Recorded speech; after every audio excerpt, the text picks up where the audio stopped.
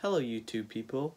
This is my first video on this channel called Spare Parts and on my channel I will be talking about lots of LEGO things like LEGO reviews, LEGO content, LEGO MOCs and for my first video I decided I'll start with my first ever LEGO set which is Anakin's Jedi Interceptor from the year 2014. This set is set number 75038 and it came with 233 pieces and two minifigures. It also retailed for $25 in its year of 2014 and adjusted for inflation today, that's about $32.50. So it was a good deal at the time, but adjusted for inflation, I'm not sure if it's such a good deal anymore. Now onto the play features. So as a lot of the sets during this time had, this set also has some spring-loaded shooters. So I'm sure you know how these work. You know, you kind of press right here and they go launching off into space. Pretty cool. But the set also has the play function of when it's in flight mode, you can lift up these fin things, and then you can have it like fly around with them. That's pretty cool.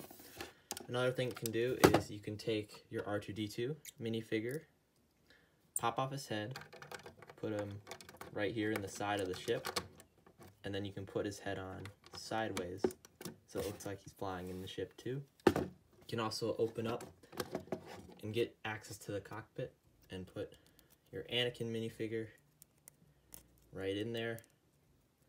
And behind him, there's also two clips that hold his lightsaber hilt and lightsaber blade. So I guess that's a good way to store it. Not really that accurate, but it works, you know. So yeah, that's that's one thing can do. And it's kind of all the play features it has. I mean, it has like details that can be used as play features, like the engines and stuff, but that's all the play features it has. Alright, now here's a closer look at the minifigures in this set. So this is the Anakin Skywalker minifigure, and I think he looks pretty good from the front. Here, I'll take off his lightsaber so it's a lot easier to see. So, he has that robe piece, which looks pretty good. My one problem with the front, though, is that his robes are literally just like black squares on the minifigure. I guess they were trying to do dual molding before they could really do that, and it's not dual molding, so it doesn't look like anything. It's just kind of weird. Just just big black squares, and I don't really like that.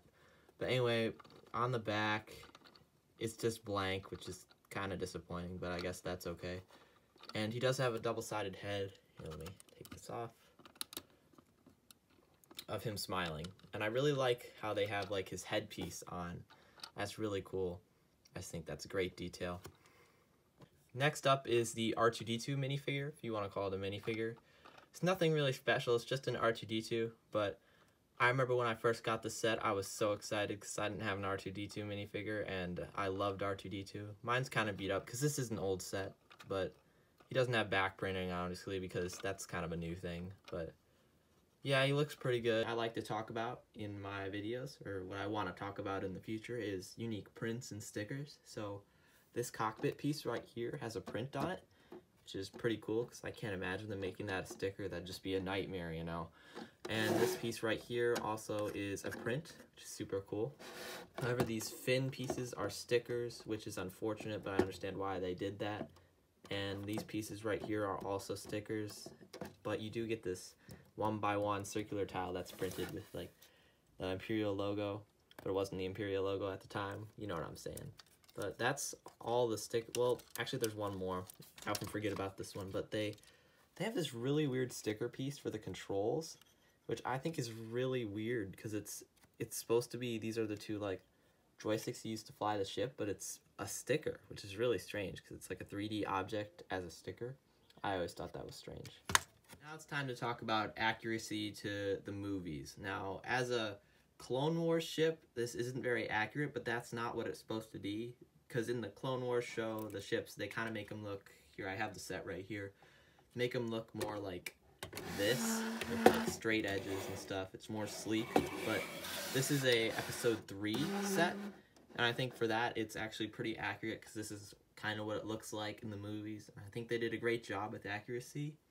Now, talking about looks and how cool it looks, I think this looks pretty good. I always thought when I was younger that I liked this version better just because it's sleeker, but I think this ship looks fine. It it's great, except for like some pieces that kind of stick out on the back, but I think it looks fine. And then for weak parts, like parts that fall off when you play with it, um, I didn't really have that problem. Maybe these things in the back actually, they come off sometimes, like you kind of got forcing, but I know when I was storing this set, I'd always find them off inside of the chest, and these come off sometimes, but I think it's it's pretty good, it's pretty sturdy. Now, all taken together, I think this is a great set. I think there's only a few problems with it, like this, to be honest, this sticker I really don't like inside the cockpit, but that's my really my only gripe with the set, except for like this back part I don't really like that much, but they had to do that to make it work.